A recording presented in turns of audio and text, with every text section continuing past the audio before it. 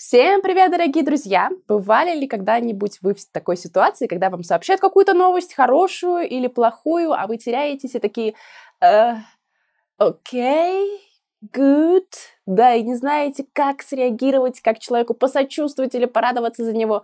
Если это про вас, это видео специально для вас. Меня зовут Анастасия, это канал Puzzle English Life. Поехали!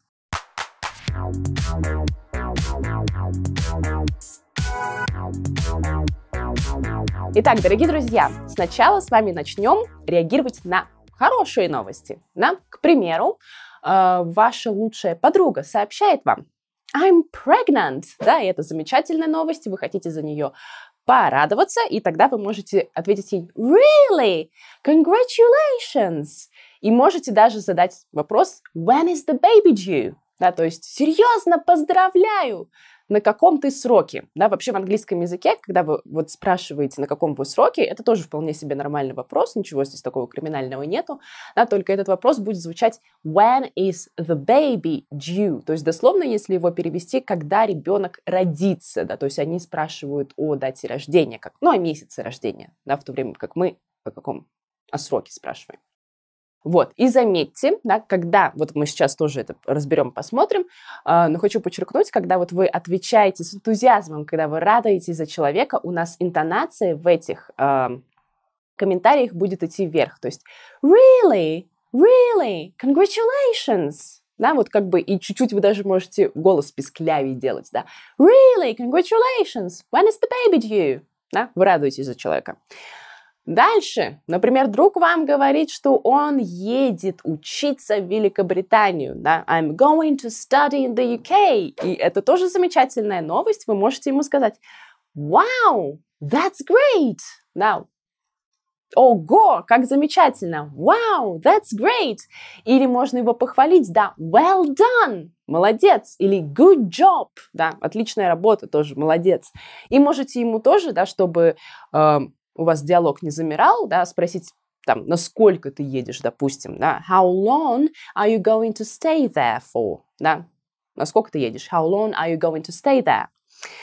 Или можно тоже сказать I'm so happy for you, I'm so happy for you, да, я так счастлив, я так рад за тебя. Или, допустим, говорят вам то, что сдали экзамены, да, I've passed All my exams with flying colors. Да, я все сдала прям на высший балл, на пятерке. Прям я супер молодец. Опять же, можно сказать great job, good job, well done, congratulations, yeah, you rock. Да, ты рулишь, вообще супер молодец. Uh, или, конечно же, можно сказать да, если вы действительно гордитесь человеком, да, опять же, отвечая на вот такие вещи, когда кто-то куда-то поступает, что-то задает, какой-то успех идет, да, можно сказать I'm so proud of you, да, я так тобой горжусь, I'm so proud of you. Едем дальше. И, конечно же, частенько в нашей жизни мы слышим какие-то шокирующие новости, да, и на это тоже нужно реагировать. Допустим, Джон и Мэри встречались долго, хотели пожениться, но тут они расстаются. И вам ваш друг сообщает, да, John and Mary are splitting up, да, они расстаются, и вы не можете в это поверить, и можете ответить no way, no way, да, как так? Это вообще невозможно. Или you must be joking, you must be joking, да, должно быть ты шутишь. Или you must be kidding, то же самое, да, joking, kidding, это синонимы, можете употреблять какой угодно. Да, опять же, у нас интонация идет вверх, потому что мы удивляемся, да, you must be joking, no way. Или Uh, можно тоже сказать, uh, что вы ну, не верите в это. Да, I find it hard to believe. I find it hard to believe. Да, я нахожу очень трудным поверить в это. Да? То есть трудно поверить. Да, ужасная ситуация. Вот. И, конечно же, мы можем получать плохие новости. Я вам желаю их получать как можно реже, но все-таки нужно тоже на них уметь реагировать. Допустим, вам ваш друг говорит, ну или кто-то, неважно, I lost my wallet. Да, я потерял свой кошелек. Ужас, да, и вы ему отвечаете, oh no, what a pain. Oh no, what a pain. Смотрите, здесь у нас интонация уже идет вниз. Да, вы сочувствуете человеку. Oh no, what a pain.